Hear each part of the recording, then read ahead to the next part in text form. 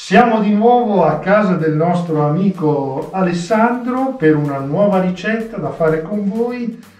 Che cosa faremo oggi? Beh, visto che siamo vicini a Pasqua, eh, facciamo qualcosa che è nella storia di Bologna, che è la pinza, la mm. pinza bolognese, e qualcosa che magari dopo può ehm, raccontare la Pasqua. Quindi facciamo la pinza dentro a uno stampo della, della colomba pasquale. Geniale. La chiamiamo così, la pinza pasquale. Pinza pasquale, ottima idea. Pinza pasquale. Illustraci un po' gli ingredienti. Allora, eh, per fare una pinza iniziamo con farina, 250 g di farina, uh mhm. -huh. farina per dolci, zucchero semolato 100 g, 50 g di burro, un uovo, media grandezza, media grandezza. poi latte QB, quindi il latte ne, ne useremo solamente quanto serve per rendere la pasta morbida.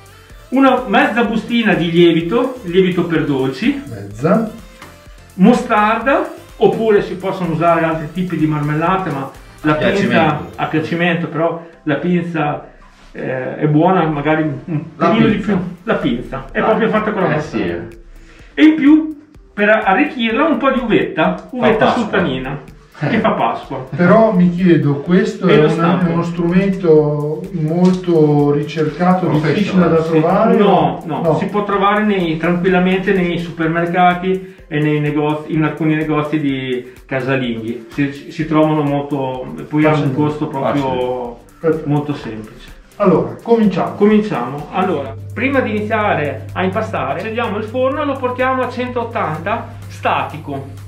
Così quando abbiamo finito la nostra pinza, la possiamo già infornare. E facciamo ancora prima, dopo, a gustarla bella calda. Allora, creiamo sempre eh, la nostra fontana. Mm. All'interno mettiamo zucchero e burro e l'uovo. Ah, stavolta tutto insieme. Tutto insieme. lavoriamo però solo la parte interna. Lavoriamo.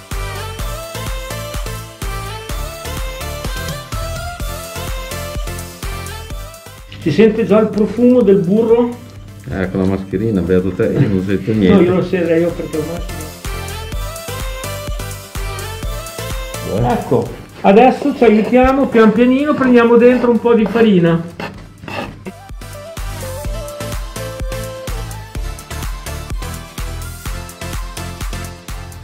Siamo arrivati a, a tre quarti, che rimane ancora un po' di, di farina, mettiamo la nostra mezza bustina, mezza bustina per dose per dolci.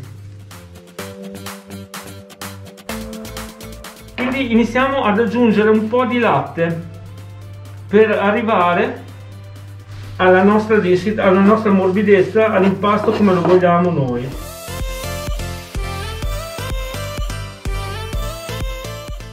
Usiamo il latte freddo perché sennò va a sciogliere il burro e perdiamo dopo le proprietà del burro.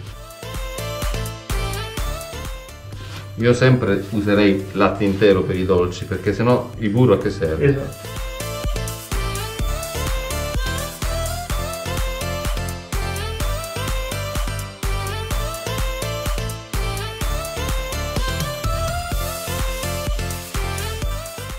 Quell'impasto deve essere compatto però vedete morbido.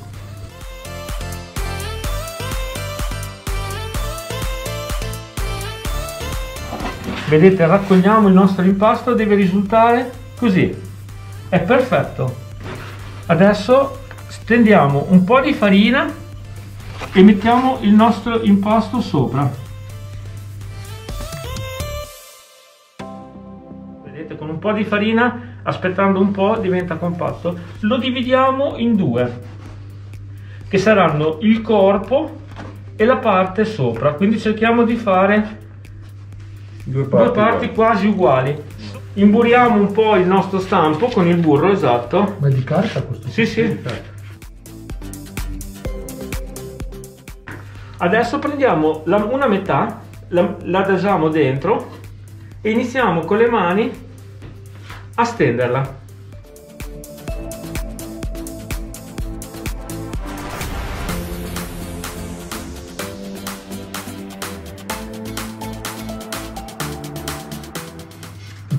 Poi passiamo alla fase 2 che è quella di mettere la nostra marmellata o mostarda mm -hmm. e abbiamo due possibilità essendo questa una mostarda pura possiamo metterla anche con le mani stenderla così riusciamo a stenderla in maniera omogenea. No, fare uno strato di mostarda. Esatto, sottile, non grosso perché dopo alla fine e andiamo lasciando però sempre i bordi liberi. Quanto ce ne va di marmellata? Ah, bisogna riempire lo stampo. Oh, a te piace molto piena o molto vuota? A me tanta marmellata. no.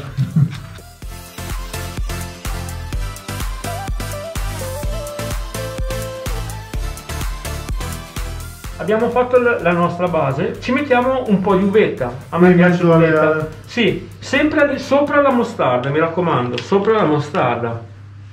Però ci potete mettere un po' di frutta secca, un po' di pinoli, un po' di mandorle. Pinoli.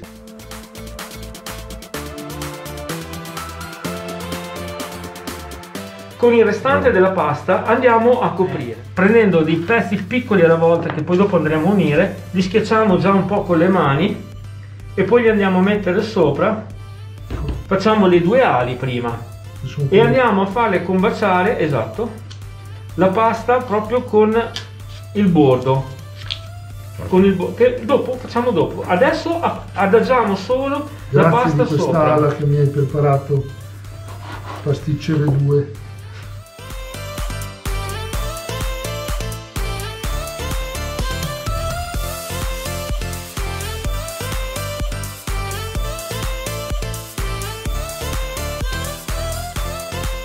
La spennelliamo di, di uovo, noi non avendo il pennello, non essendo dei professionisti, non abbiamo il pennello, distribuiamo un po' di uovo, un, un uovo sbattuto un po' sopra.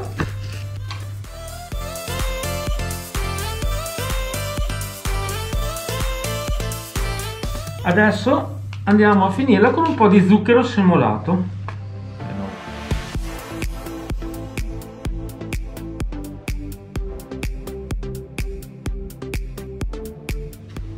Adagiamo la nostra colomba sopra la teglia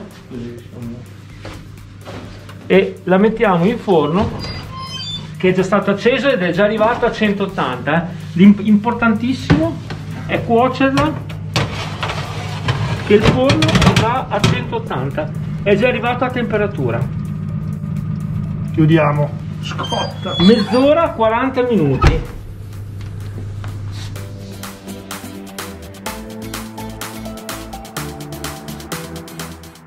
Con la pasta, Con la pasta rimasta facciamo una, una mini, una micro brazzadella. Brazzadella.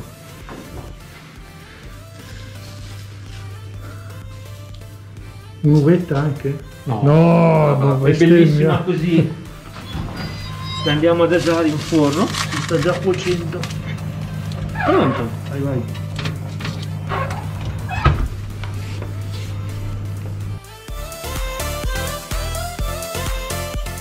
Vediamo che il ciambellino C'è è pronto.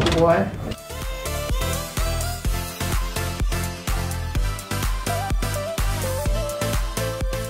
Per assaggiare, com'è che si chiama questa? La brazzadella. La brazzadella. La mini brazzadella. Ci vuole un... Fastidio di pantelleria.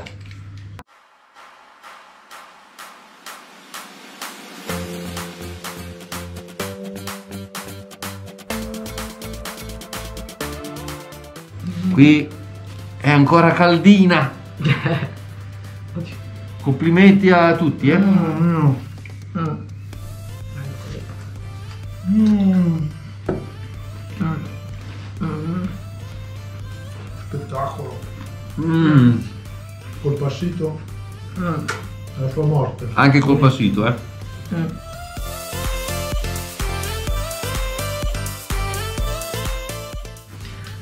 Il, il pasticcere è stato molto bravo, il maestro pasticcere che ha Mi impastato. insegnare. No, no. Ah, non tu.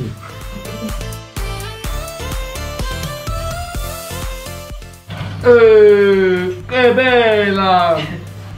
Pronto la nostra colomba, pin- la nostra pinta colomba. Sta- mancavano ancora 5 minuti a ven- alla mezz'ora. Alla mezz'ora. Quindi 25 in 25 minuti. minuti. La pinza di Pasqua, essendo più bassa rispetto alle colombe, si cuoce più in fretta. Certo. Alessandro, un bilancio di questa nostra ricetta, direi che dal punto di vista ester- esteriore si presenta Sì. molto bene. Tu Molto che sei bene. esperto cosa dici? Certo, no, che è venuta molto bene, sono sincero. E si può impreziosire magari se uno vuole con una ciliegia rossa nella, nella parte della testa per fare proprio la, La marena? Una marena, una ciliegia rossa però sarebbe il top.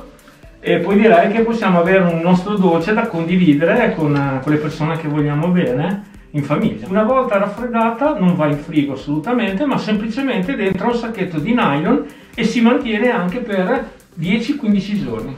Magari Ecco, se la dobbiamo portare a una nostra amica, la nonna, potremmo usare i magnifici portatorte della cooperativa Gomito a Gomito. Che sono bellissimi. Abbiamo utilizzato, sicuramente l'avete notato, I nostri i grembiuli. grembiuli, vedete che linea, soprattutto Alessandro. I colori, allora il portatorte ha un laccetto laterale e una chiusura con il, come si chiama, velcro. Quindi la si mette qui dentro, così. esatto, si chiude il velcro, si stringono i laccetti, stringi là,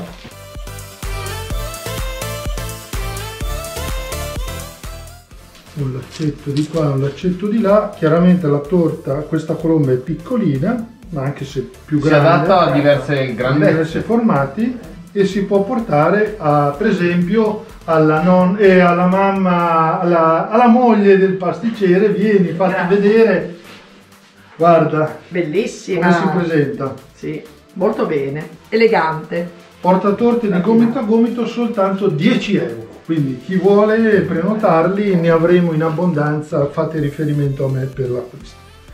E poi si può portare anche non solo i dolci, ma secondo me anche lasagne. Certo, giusto. Se vogliamo fare una bella lasagna, È un porta, un porta, beve- porta piatti eh, cucinati con amore.